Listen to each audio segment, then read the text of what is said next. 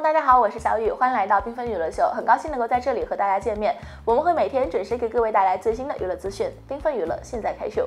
在这美好的春光里，周深又发新歌了。继周八歌之后，宝藏男孩周深又演唱了《入梦》，还有一首诗特别版的《望》。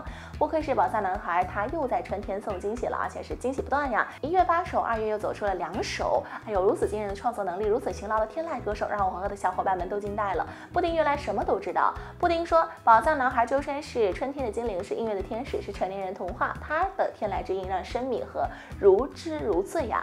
果然呢，布丁说的太对了，小编呢也是有深有体会。就拿新年出炉的《若梦》为例吧，往事流转在你的眼眸，一边遗忘一边拼凑，如我前程何十双手，唯愿你能够得到拯救。情若情缘若梦，长久几何？一枕寒宵，影像苦涩独酌，杯酒当歌，却绕不开这心锁。愿清欢入梦，伴此心停泊。《若梦》完整版，小编反复听了很多遍，这一反应又是一首无法翻唱的歌曲吧？尤其是高音部分的哼唱，真的是太有感觉了，婉转悠扬，缠绵悱恻，周深若梦，深深入耳。此处真的应该落下几句赞美之词，绝美、天籁等等。恢宏的制作背景将大唐风格体现的是淋漓尽致，宝藏男孩周深清亮婉。约的唱腔和古风编曲适配度满分，谁听了谁知道。反正，小编是打满分的。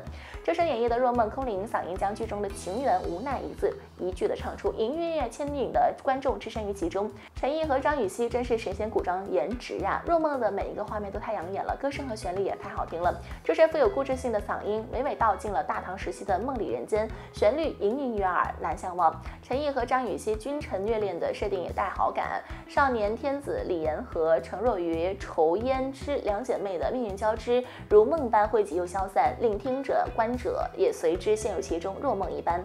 布丁又一次说对了，周深真的是一座永远也挖不完的宝藏。从惊艳好声音舞台的欢颜到大鱼海棠印象曲大鱼，再到天与千寻的主题曲亲爱的旅人呐，以及梦醒长安主题曲，从开门大吉到各大盛典舞台晚会，周深的演唱总能够赋予歌曲更多更深的灵魂，一字一字都让人带入到情境之中。布丁说，周深凭借着不懈的努力，用一个接一个的舞台，用一首首好听的歌曲，为布丁和生米搭建了一座音乐殿堂。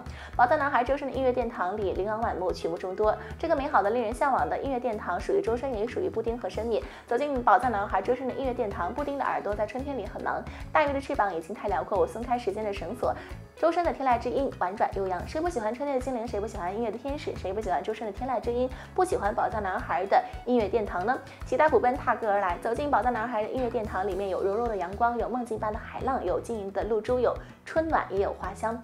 是啊，以往忙着记歌词，如今呢是忙着记歌名。走进宝藏男孩的音乐殿堂，布丁的耳朵在春天里很忙，多好呀！做一名布丁和生米是多幸福多快乐呀！这种幸福，这种快乐是宝藏男孩周深给的，可以跨越时空，跨越区域，随时随地单曲循环，倾听天籁之音，可以随时随地的在春天里畅想。吃瓜不停，娱乐不断，感谢大家关注缤纷娱乐秀。如果您喜欢频道的话，请给出您宝贵的赞，并且记得订阅我们，同时不要忘记了点亮订阅右边的小铃铛，这样就可以在第一时间收到我们的频道内容啦。我们下期节目再见吧，拜拜。